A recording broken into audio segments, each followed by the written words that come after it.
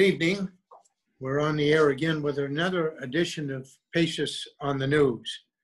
Tonight, uh, I'm very pleased to say we have a guest who is a return guest, Senator Angus King, who uh, is perhaps one of the most articulate members of the United States Senate and uh, a guy with great insights and analysis, uh, uh, a terrific senator and he's going to join us in just a few minutes. He's going to join us from Washington. We're zooming him in uh, as he takes a break from his Senate duties, and he'll be with us shortly. Before Senator King comes on and we get to ask him about what's going on in Washington, I want to talk briefly uh, uh, about what it looks like from here. I've been reading this book, it's a book by uh, Robert Shogan called The Double Edged Sword How Character Makes and Ruins Presidents from Washington to Clinton. Bob Shogan, uh, I know Bob Shogan. Uh, he was a reporter for the Los Angeles Times. He's written seven books on the presidency.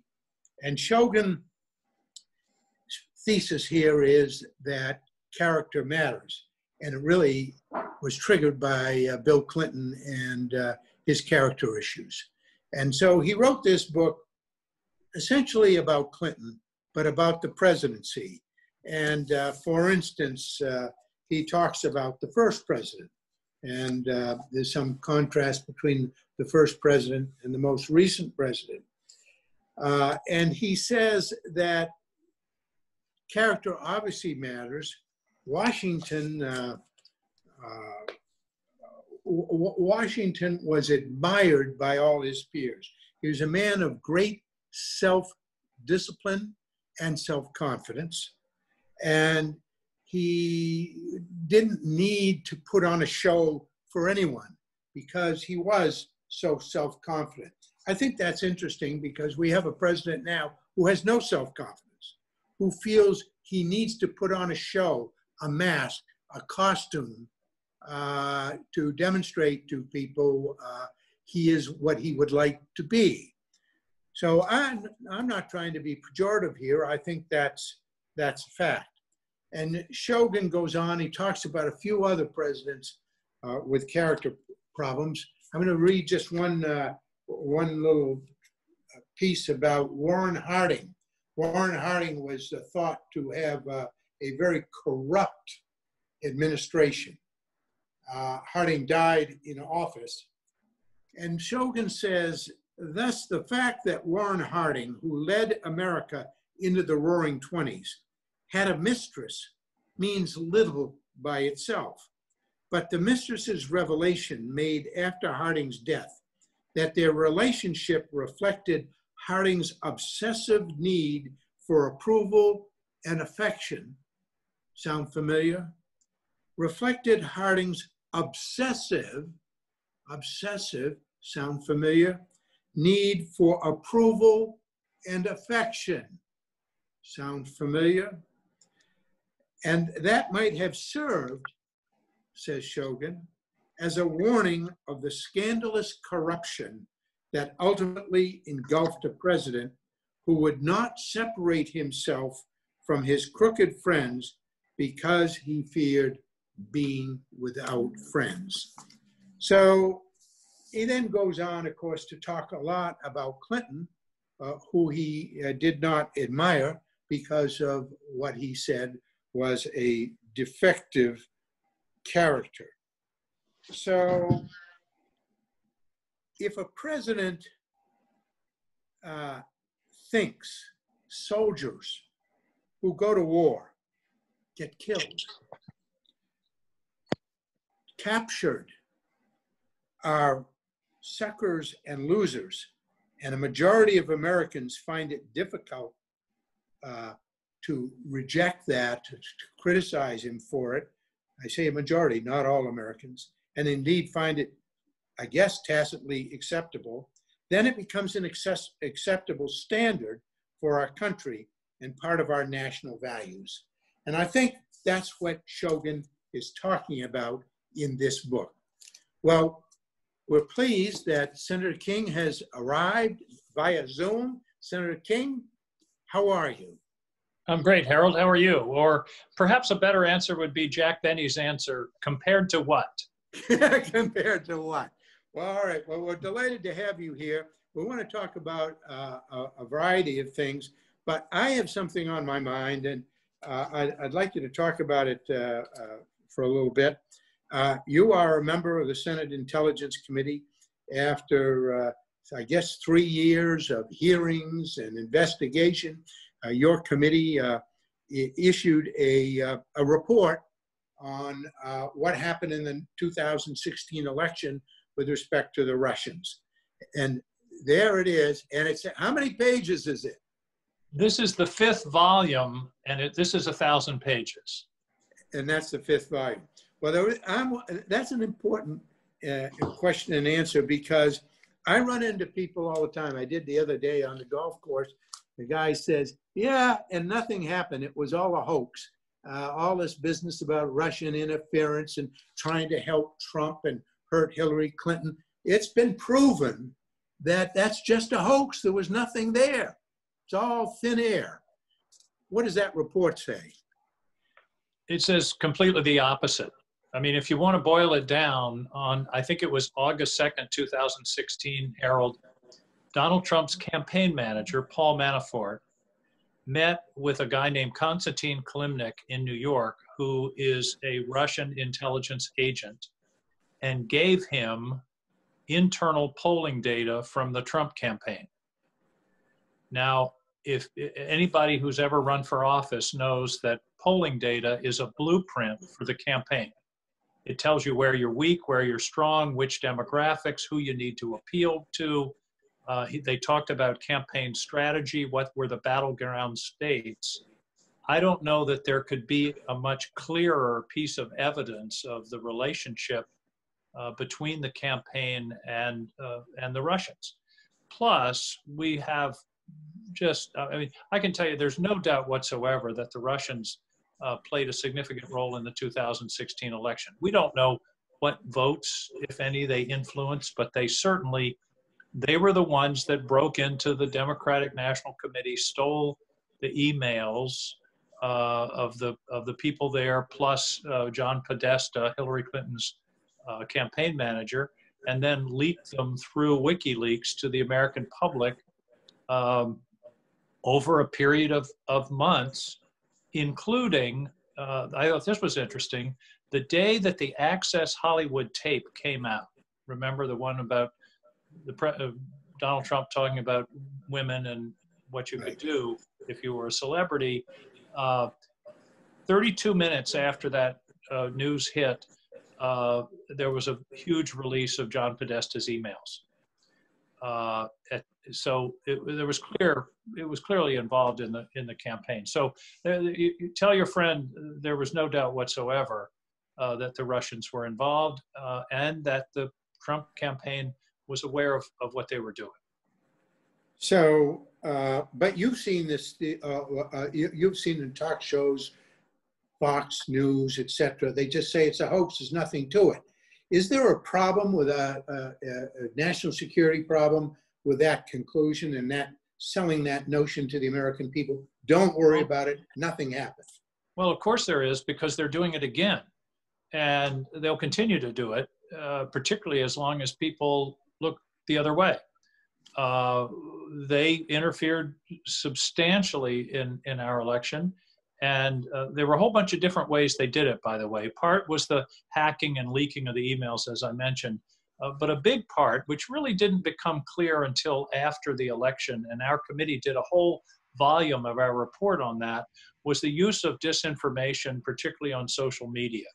Uh, what they were doing to try to suppress the vote, to try to suppress certain votes, uh, in order to help Donald Trump. It started out, by the way, uh, as near as we can tell. I mean, we can't know what was in Putin's head, but it started out more as uh, undermining Hillary Clinton. Putin hated Hillary Clinton, and it was uh, to undermine her and to to destabilize her if she was elected president. Later, sometime in the summer, in the sp- spring summer of 2016, they decided that they would move over toward helping Donald Trump. Uh, but uh, there, there's just no question of, of what they did. And, uh, you know, we're, we have the First Amendment. We're an open society. We have the, we have, you know, lots of television and news and the internet. And so that makes us vulnerable. Uh, and this is a Russian playbook. This isn't anything that they invented for us. They've been doing this for years. In fact, they've been doing it in Eastern Europe, you know, for decades. Uh, and, their whole goal is to destabilize uh, the democratic system. They they want us to be uh, at each other's throats. They want us to be, lose faith in our system, uh, and they want us to eventually break off with NATO and sort of withdraw from the world and and uh, that's uh, that's Vladimir Putin's playbook, and he's executed it very well. And if people say, "Well, it was a hoax; it never happened," then that means it's going to continue to happen. The first the first rule of prevention is uh, knowing what the problem is. You, apparently, you don't think that Vladimir Putin is out to help the United States and is a friend, do you? Uh, I've never uh, seen that in anything he's said or done. You've got to understand, this is a guy, he's a former KGB agent. Uh, he's a guy who feels that the breakup of the Soviet Union was a great historical tragedy. And he's trying to do everything he can uh, to exercise power on the world stage, even though the, their economy is weak and they're really not in a very strong position. But you know, he, this information warfare is relatively cheap.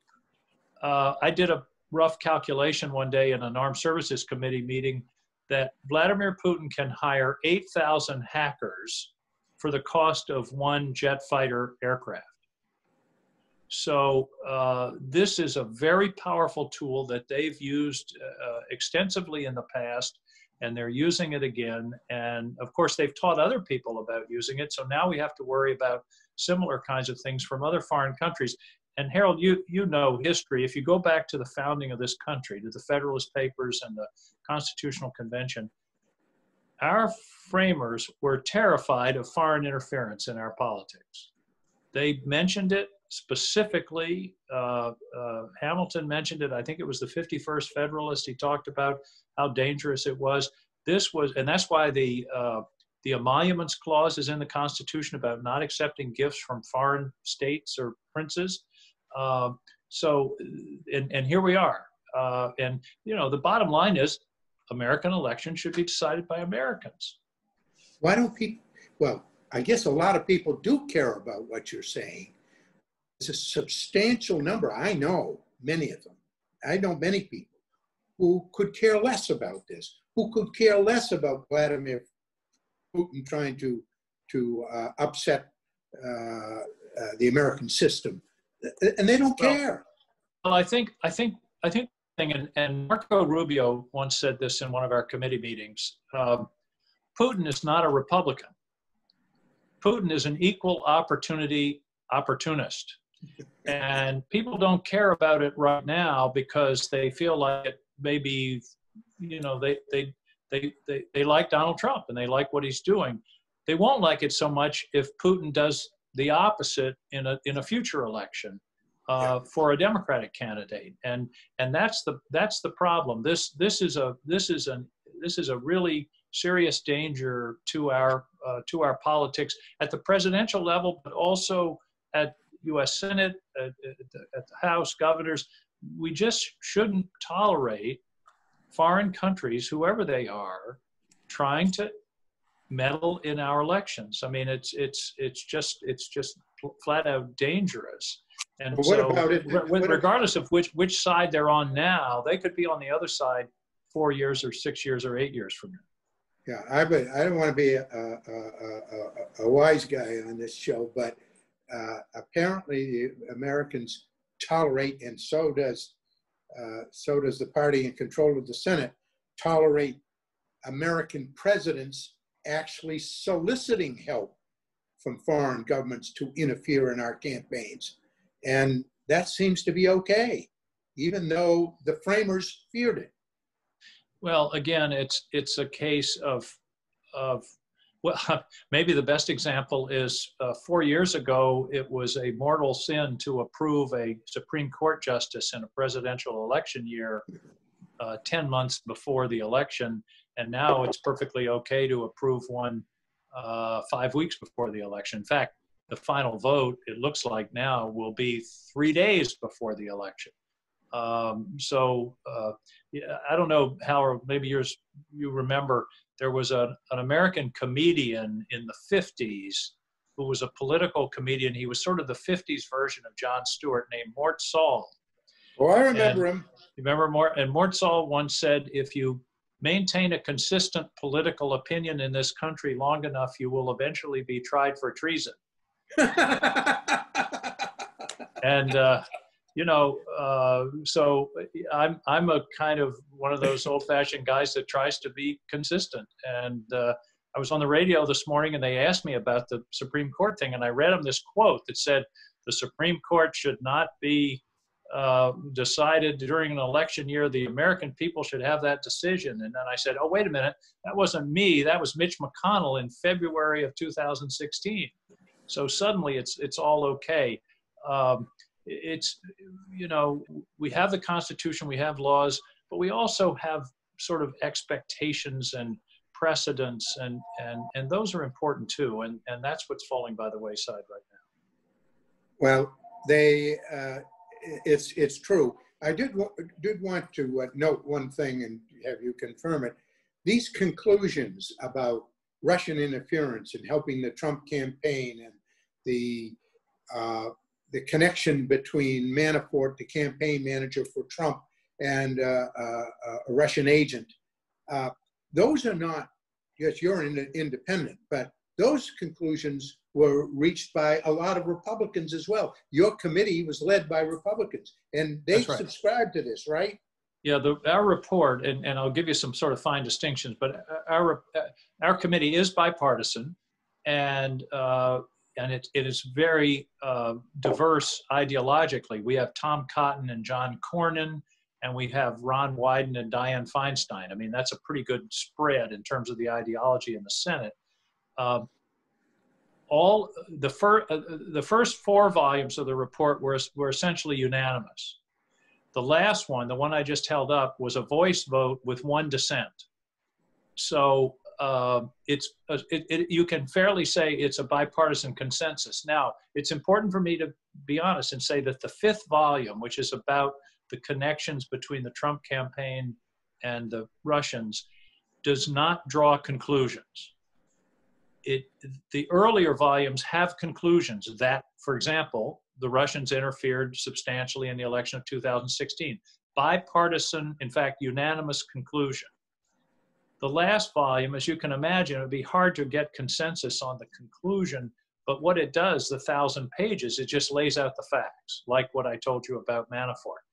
And that, that was adopted by a voice vote with one dissent. Uh, and so that, that's the finding of a bipartisan committee. Here's what happened. And our job was different than Mueller. It's important. Mueller's job was to look for criminal actions. He's a prosecutor and he was looking for actions that could be proved as a matter of, of criminality beyond a reasonable doubt in a, in a court. Our inquiry was what happened. It was more factually based than we weren't looking for whether laws were broken. We were just trying to get to the bottom of what happened. And our investigation was a, a counter espionage uh, uh, uh, investigation. How, we wanted to know how our country was penetrated and, and how we could protect ourselves uh, in a future uh, in a future uh, election. And and so that's the that's the nature. But you're right. Your basic point is this was a bipartisan finding uh, th- this this whole project was uh, was very much bipartisan. And our other senator republican susan collins she signed on to these conclusions as well right? Yeah absolutely as did as did Richard Burr. I got to tell you a funny story about Richard Burr. Early in the in the process, when he and Mark Warner were working together on this and, and making it a bipartisan inquiry, which it which really was important, I saw Richard uh, one day and uh, out, uh, out outside of the Capitol, and I said, Richard, uh, you're really doing a great job. It's bipartisan. You had this press conference with Mark Warner. The country appreciates what you're doing. As they say in Hamilton, history has its eyes on you. And Richard took one step back and smiled and said, Well, Angus, I don't know if you want to quote Hamilton to me since my great great grandfather shot it. now, I don't know if Richard is really a direct descendant of Aaron Burr, but I think there's a family connection. But uh. um, I felt that part of my job as the independent on the committee was to sort of keep shepherding shepherding both sides toward uh, uh, as close to unanimity, unanimity as we could get because that enhances the credibility of our findings. And the American people needed needed some reassurance on a bipartisan basis, and uh, the, our committee has provided that.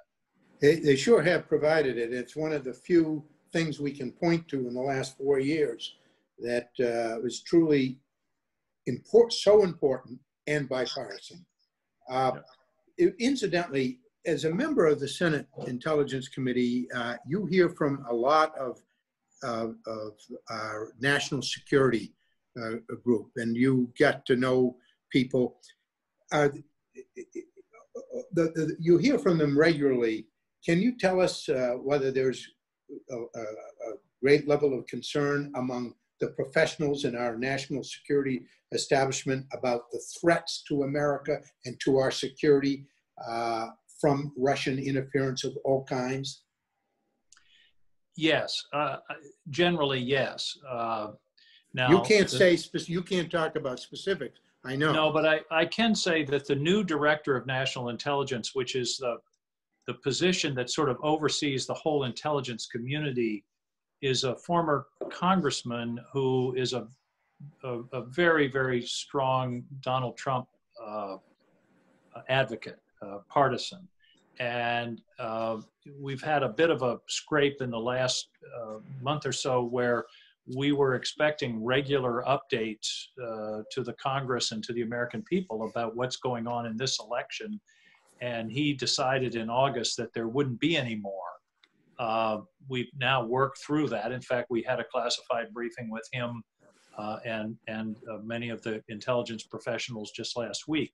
So uh, but it, it, the the the general, uh, I, I, would say it's fair to say that the general conclusion. Well, it we we specifically looked into one of the whole vo- a whole volume of our report was an analysis of the accuracy of the intelligence community's assessment in January of 2017 that the Russians did it, that Putin knew it, and that they were they were uh, consciously trying to support Donald Trump we examined that conclusion in detail, reading all of the background, the classified documents, the raw intelligence, and came to the unanimous conclusion that that was a correct report. So uh, we're, you know, we, we've, the, that's, that's the opinion of the intelligence community, and there's nothing I've seen that changes that. You're in an interesting uh, position as an independent, as a guy who was an independent governor of uh, Maine, who uh, kind of exudes moderation on either side. Um, what's it like serving in the United States Senate that is so partisan that all that counts is whether you're a Republican or a Democrat? They don't think about anything else. It, yeah. Tell us a little bit about that. You, you, these are colleagues of yours, and you sure. hear them saying things. You know them. You know they're intelligent. You know they're decent people, but because they're Democrats or Republicans, you hear them saying things that you know are not right. Well, first, uh, as you know, I caucus with the Democrats. The reason for that is I had this sort of fantasy of going down and putting my chair literally in the aisle between the two sides until I learned that it was through the caucus that you got your committee assignments. So uh, I, I had to choose. Uh, and at that time, this was 2013, uh, I chose to caucus with the Democrats. They, the, the principal, my principal criteria was that they promised, Harry Reid and Chuck Schumer uh, essentially guaranteed that they would respect my independence. Uh, and I can honestly say in four years, for example, with Harry Reid as the majority leader, he only asked me for my vote twice. And one time I was going to vote with him anyway, and the other time I didn't. Uh, and that was what was important to me. But to get to your question, here's here's what really goes on. The place is very partisan institutionally, as you suggest. Uh, the votes are all pretty much down the line. Um, there are little strays back and forth every now and then, but but on major issues, the you know it, it, it's a it's a partisan uh, enterprise. Uh, by the way, Harold, one of the reasons people say, well, the Senate is is is a you know partisan uh, divide. The country has a partisan divide. I mean, the Senate, in effect, represents the uh, the, the strong uh, partisan differences we have in the country. The good news is that it's not as partisan on a personal basis. In other words, we don't hate each other. Every now and then I read stories that say it's a toxic atmosphere. You know, I don't think Chuck Schumer and Mitch McConnell like each other very much, but but by and large, I mean, uh, it sounds silly, but it's a cliche to say some of my best friends, but some of my best friends in the Senate are Republicans. James Lankford of Oklahoma, very conservative guy, is one of my best friends in the Senate. Dan Sullivan of Alaska, uh, Lisa Murkowski, uh, you know, I, I work with, with people, Marco Rubio, uh, Marco and I just introduced a, a, a, major bill yesterday together. So it's not as it's not as partisan as it seems. And the other piece is the partisanship is most intense on the high visibility issues, the Russia investigation, uh, immigration, guns, but a lot gets done that isn't in those high visibility categories on a nonpartisan, bipartisan basis. For example, five weeks ago, six weeks ago, we passed the largest land conservation bill in the last 50 years. And the vote in the Senate was 73 to 25. Uh, that's, it was completely bipartisan and, and it passed the House, I don't know, 400 to 30 or something, and the president signed it. So every now and then, bipartisan cooperation breaks out. Uh, and there's a lot done that sort of doesn't get the publicity because, you know, conflict is much more interesting. So you, uh, uh, I've watched you uh, as governor and now as senator, and you one of the roles that uh, you see for yourself as a political leader is kind of calming people and saying, let's talk sense and uh, be rational about things. A lot of people are worried about the upcoming election. They see chaos. Uh, this my comment is, of course, the president intends that there be chaos. It is his intention. Uh, how do you think we're going to get through this? Well, it, it's it's no secret that I have disagreed with this president on a lot of issues, but I believe that the worst thing he has done is the sowing of distrust in the election. Our system is based on a fundamental premise of the peaceful transfer of power. Uh, I remember my first political science class in college, first government class in college, the professor said what differentiates the United States from most countries throughout history and many countries in the world today is that we've mastered the idea of the peaceful transfer of power. That's in, in world history, that's very uncommon. And the reason we've mastered it is it's all based upon trust. It's based upon the idea that you work hard for your candidate, but if you don't get enough votes, you accept the results of the election and move on and maybe work hard the next time. This president keeps using terms like rigged. If I don't win, it's rigged. And he did this in 16, but of course he won. That's extremely dangerous in terms of undermining public confidence in the election because particularly because he has these very uh, fervent followers and if he tells them it's rigged they're going to believe it's rigged and then if he doesn't win what do they do? They're going to be. It's a it's it it's a uh, very dangerous uh, moment. Now, you know, I think the election. I, I was. Uh, I told somebody this morning. What we've got to understand is that the results on election night are the halftime score. we're not going to know the final results of the election till the next day or the couple of days later because of the huge number of, of mail-in votes and absentee votes, which traditionally aren't counted till the till the live votes are counted. That doesn't mean it's fraudulent. That doesn't mean the fix is in or that there's any kind of uh, shenanigans going on. It just means we want to count all the votes. And and you know, in Maine politics, um, well, in my own election in, in 1994, I didn't know whether or not I'd won until the next day uh, because it was very close, and there were a lot of places that didn't get their results in, and you know, until early in the in the next morning. Uh, and and that, you know that doesn't mean there's anything wrong. It just means that's the that's the process. So uh, I'm very worried. I'm very worried about this. If I don't win, it's it's rigged. That's a that's a dangerous uh, thing to to say, and it it it undermines the, the the trust and confidence that people have in our system. I you know, and and our election system. Look, you know, the election system in in South Portland or Cape Elizabeth or Portland or Brunswick or Madawaska are local people who do it every year and they're volunteers and they're dedicated to what they're trying to do and to get it right and to count all the votes. Uh, so, and, and besides, there's no evidence of widespread voter fraud in mail-in voting or any other kind of voting. If you recall, the president set up a commission the first year he was elected that was going to, you know, be all about voting fraud. They sort of quietly disbanded and went away because they couldn't find any. I mean, all the data is it's in it's you know it's one vote out of a million or something. I mean, it's it just it just not it's it's it's just not something that that happens very frequently. And it and to say it's going to happen on some kind of massive scale, just it doesn't. It's just not true. Well, I I, I agree with you, and uh, uh, people say to me, uh, have said in recent days, ah, now the Supreme Court, we're going to have a new Supreme Court justice, and she's going to vote with Trump on the question of the election.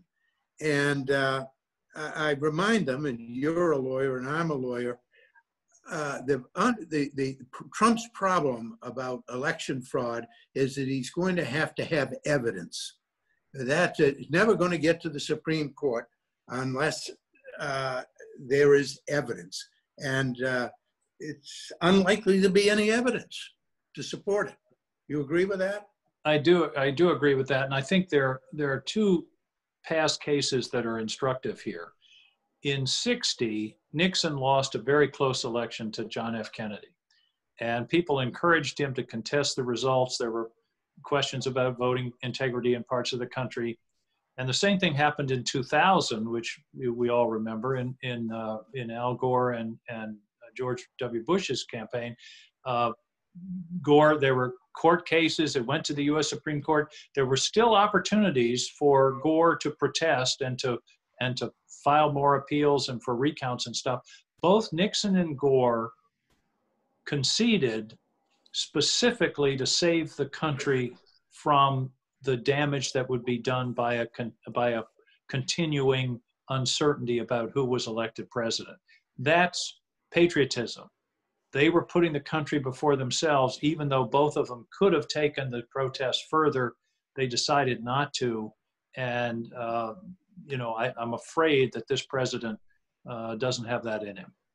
Anybody who has been watching the last four years, or in fact, watching Donald Trump for the last 40 years, because for 40 years, he has made it, he, has, he has made an impression on us intentionally, uh, knows that he will not put the country first. He will not do what Nixon did. He will not do what Gore did. Uh, they know it. Everybody knows it. If you watch and observe, uh, you can reach these conclusions. So let me let, let me add another thing and ask you about this on, on, on elections. You cautioned us to, you know, be patient that it might take a day or two for us to know uh, the results. And you're concerned about that, and rightly so. Uh, we're accustomed to the networks calling these things early. You know, we want to, we get tired around 10 o'clock at night and we're looking at our watches and we're saying, when can I go to bed and know who right. the election? But you're a you you you're you're a student of history. Before we had television and even radio, people didn't know who won the election for days. Isn't that that's right. correct? Of course, yeah. You you you get reports out of uh, you know I I'm trying to remember about the Garfield election, but it, it took a long time to get it. And of course, the the uh, uh, Hayes Tilden election was was contested right up to the last minute. Uh, so it's yeah. I mean, eh, getting the results. I mean, we're all in a we- we're all in a habit of you know you get up in the morning, you go and vote, and you settle down in front of the TV, and between eight and ten, you pretty much know who's going to win. Uh, this year, it could that could happen this year, but uh, but it's it's it's doubtful. And and the the problem scenario is according to the polls, and you know who knows, but according to the polls, uh, Donald Trump is leading, um, uh, may well be leading among people who plan to vote in person, whereas Joe Biden's support is more people who will be voting absentee or through the mail. So you could have a situation where at 9 or 10 or 11 at night, Donald Trump's way ahead. And then the later votes come in and his lead starts to diminish. And that will feed this, um, this story that somehow it's being, being stolen from him. Uh, and and that's not true. It's just you know it's just different votes are coming in from different parts of the country. Just like I remember in 2010 watching the returns for Maine state governor, and until around 10 or 11 at night, Eliot Cutler was way ahead. And then the small towns started to come in, and Paul LePage won that election. But if you had looked at the TV at 10 o'clock, you'd say, "Oh, Eliot Cutler's going to win. He's he's he's ahead." But then uh, these small towns came in were very heavy for Paul LePage, and that determined the outcome. Because those towns came in late didn't mean there was anything wrong with the process. It's just that's just the, the reality, and that's going to happen this year. But you know we don't know how it's going to come out. But uh, the danger is that the if if in fact Biden starts to pick up in the later returns, people will say, "Look, there, see, they're stealing the election." That's just nonsense. If uh, uh, you've been in the Senate quite a while now, so uh, let me give you this scenario. Uh, Trump does not get the most votes when it's all counted, but he says he's not conceding because there's been fraud and it's rigged, and I will not concede, and I don't plan on uh, transition or anything. Uh, do you think, given this partisanship in the Congress, do you think, based on your knowledge of many of the Republicans in the Senate, that there'll be a couple of, a few senators who might go to the White House and talk to him and say, look, for the good of the country, you got to stop this? Are there people like that up there? Well, that's a, that's a really good question, and and of course that's what exactly what happened in, in Richard Nixon's case.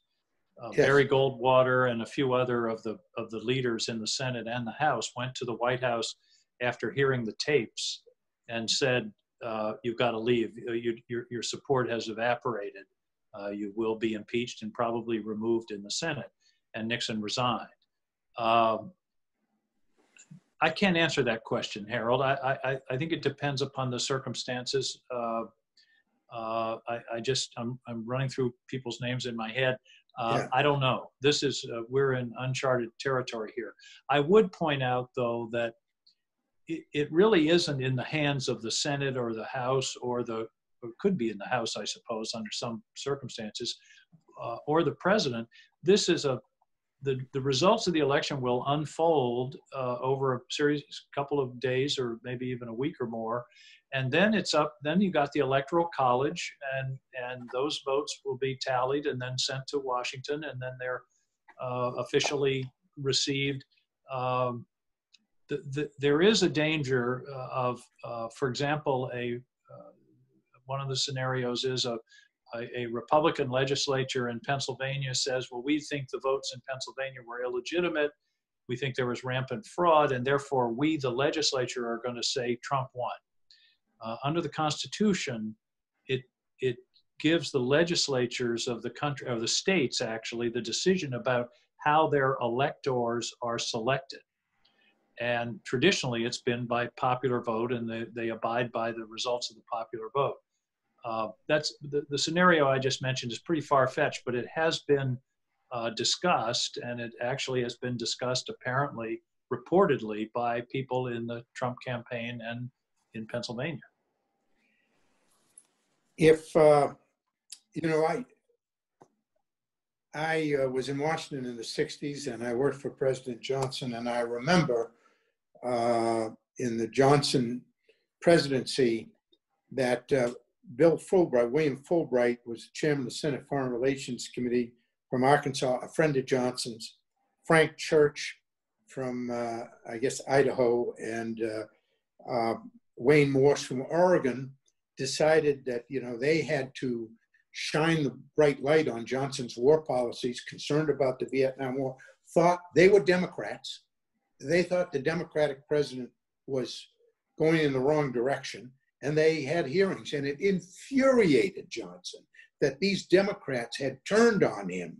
It just infuriated him. Of course, it was a different time, and presidents didn't, you know, yell insults at either reporters or members of Congress because they thought they might need them another time. This is different. This guy insults everybody and doesn't care whether he gets them in the fold at a different time.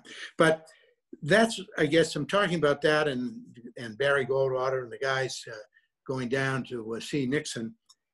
Uh, at some point, senators of the president's party, if he's way off base, have to caution him. And I and I I just assume, and I'm sure it's a correct assumption, that privately, in the minds of many of those Republican senators, they say, "Oh, this is awful. We got to do something about this." They are concerned.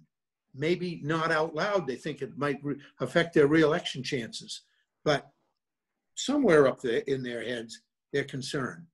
Would you agree that there are concerns? Well, I, you, are interviewing the wrong guy. You you should be interviewing Marco Rubio or yeah, John well, that's true. and, and yeah. ask them. But um, I think there's a, been a kind of a bargain that you know a lot of the agenda that they had of abolishing the ACA and uh, passing tax cuts and uh, those kinds of things he's and, and conservative judges on the court he's he's done. He's he's fulfilled the, their desires their expectations.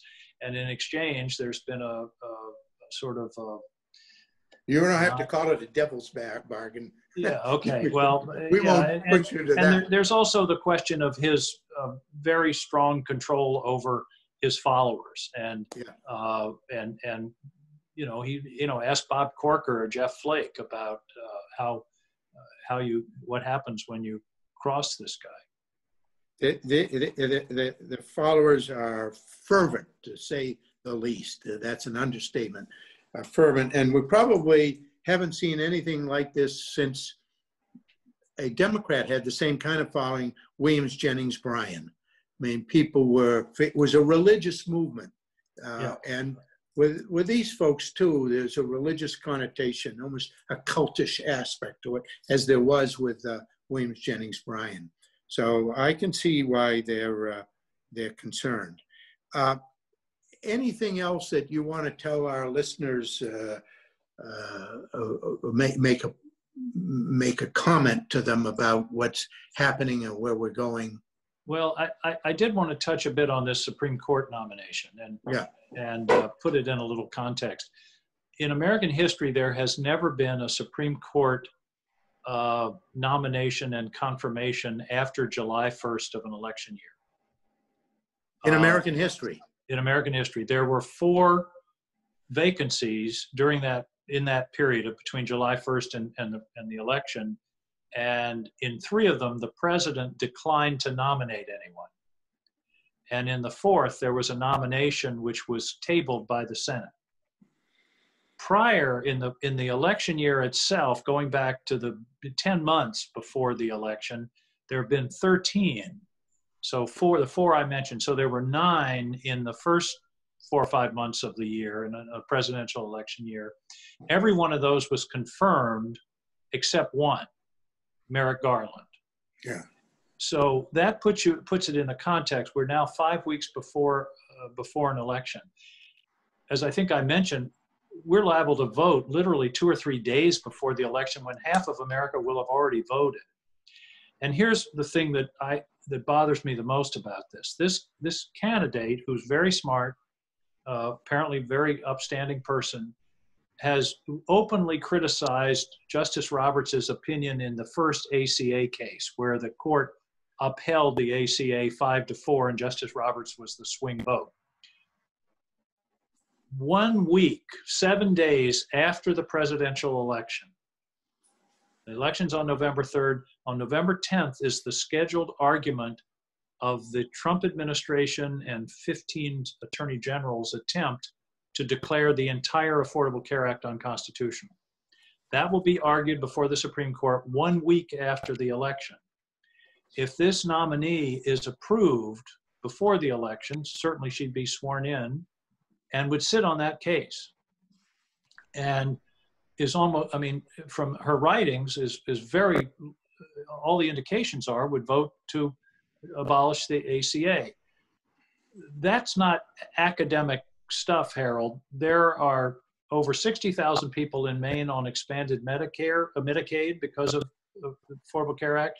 There are about 75,000 people who have in health insurance through the exchanges because of the Affordable Care Act. And about half the people of Maine below the age of 65 have pre existing conditions, which would have a major impact on their insurability or the cost of their insurance if that protection goes away in the Affordable Care Act. So the effect would be dramatic on millions of people across the country and hundreds of thousands in Maine. So uh, this is, like I say, this is not something academic. This is the week after the election, and that's one of the reasons that I think it's it's uh, it's it's against precedent and, and and it's just not good policy. If Mitch McConnell was right in 2016 that we should wait until an election, then you know he's right now. Uh, and you know, Lindsey Graham had all these statements about how we won't do it. You can mark my words and use this tape, and he's just completely flipped. And they're going through all these contortions as to who held the Senate when and all those kinds of things. No, uh, this close to the election, it, it the, the, people the people's voice should be heard, in my view. It, just expand a bit on that. If uh, it, there is, it, would appear then, I, I, this is me talking, that uh, she will get confirmed. It looks that way. Uh, she will be sworn into the court before that case is argued uh, before the Supreme Court on Affordable Care Act. And she will, there is a likelihood, based on what she said, I read what she said too, that uh, she will vote to strike it down. And it is her elevation to the court is gonna gonna happen, I think. And the Affordable Care Act is very likely to be struck down. And there is nothing uh, that I know of, and you can straighten me out, that will that the Republicans have done to, for safety net for these people. They will be without insurance. They won't That's have right. health insurance. Yeah, the, it will. It'll be. It'll be absolute chaos. And and the, you know, the president with some fanfare last week signed an an executive order saying the policy of the government to protect pre-existing conditions. You know, that that means nothing. I mean, you know, there's no legal effect to that. There's no right. It, it, it, the president can't pass a law by executive order. It doesn't. It, right. has no effect. It's it's uh, misrepresenting, uh, and and he's been saying should. for years we're going to protect pre-existing conditions, and and has never. He's had uh, five years to come up with some kind of plan, and and never has. I'll tell you why he hasn't, because it's hard. This yeah. stuff is really hard and complicated. Right. And uh, but the, there's another issue, and, and I think you touched upon this earlier that bothers me. Uh, canon, I think it's 2A of the Judicial Canon of Ethics says that a judge shall avoid the appearance of impropriety. Not impropriety, but the appearance of impropriety. And if a case comes to the Supreme Court involving this election, and involving the president who appointed this person a month before the election and she doesn't recuse herself it seems to me that's a clear violation of that of that canon and again the danger is not the particular case it's undermining confidence in the judiciary. The court doesn't have an army. The court doesn't have the power of the purse. The court only has its credibility. And the reason that that the appearance of impropriety is in the judicial canons is because of the recognition of that. That public trust is the only is, is, is where the court gets its authority. And if a judge turns around and votes on a case involving the person that appointed them uh, barely a month before, it, it, it, the public will scratch their heads and say, well, this was a, this was a setup. This was, and, and, and the president has said, in fact, one of my colleagues the other day said, we've got to have eight justices. Well, that didn't bother him with Merrick Garland. We only had eight justices for 14 months. uh, and and nobody I remember raising that question and everybody said oh no that's no no problem they can operate well if again if it was you know what they used to say sauce for the goose is sauce for the gander. If it was okay to go over a year with only eight justices we can go a, a couple of months with only eight justices. You know my impression uh, i've been kind of on the edge of politics for 50 years. Uh, my impression has always been that most Americans are concerned about fairness, that fairness is a major issue and something that informs them in making political decisions. There's nothing fair about what we've been talking about. It is totally unfair. And I'm not sure that matters to a whole lot of people, perhaps well, a majority. It's, it's interesting you should use that word because the first senator to question this nomination was Lisa Murkowski of Alaska. And she used the word fairness. She said if it was fair to hold up Merrick Garland's nomination, then it's fair to hold up this one. It, it, it wouldn't be fair to let this one go through. That was exactly the way she put it. Um, and really, this is this is might makes right. You know, if you got the votes, do it. One of the things that has surprised me down here, Harold, is that people do things on both sides and act surprised when the other side does it back. Uh, and it, it's a downward spiral. And I think that's, that's really um, important and, and, and, and uh, it, it's not good for the institution or for the, or for the country. Uh, and that's, this, this is a, you know, as you say, it looks like it's going to go through. There aren't any, I mean, I have constituents who say, why don't you stop it? Well, I can tell you that a lot of really smart people have looked at the procedures, and there's really, if you don't have the votes, uh, you can't you, you can't stop it. Uh, by the way, one of the arguments of Mitch McConnell and Lindsey Graham is, well, the Senate in 2016 had just gone to the, the two seats had been added for the Republicans. And so the people had spoken. They wanted a Republican Senate. Well, I, I went back and looked in that senatorial year, that election, 12 million more people voted for Democratic senators than for Republicans. But of course, the way the, you know, it depends on which state and where you are, but uh, it wasn't exactly a, a, a, mandate, which is what, the way it's being characterized today. Well, Senator, uh, this has been uh, uh illuminating for our audience and a good opportunity for them to hear directly from you uh, on something, you know, we're not in the soundbite business here. We, we kind of probe and get into the mind of the guest and uh, your mind is a good one and a lively one. And so it's great, makes it for a great program for us. Well, I, so, Harold, I, I, I'm afraid people will say, well, he's just a Democrat in wolf's clothing. I voted for Republicans. I voted for Republican presidential candidate and and I, I, just try to fairness is what's motivating me and some some level of consistency and also a concern about how what we do now will echo 5 10 15 20 years from now because that's uh, we can't just make our decisions on what works in the moment. Uh, and and so i you know i'm just trying to call them as i see them which is what i've always done. And in this case uh, I'm, I'm, I'm worried about the country and I'm, I'm worried about this, uh, um, the, the, the, uh, the, the, divi- the divisions in our country, which historically presidents have tried to heal, not exacerbate.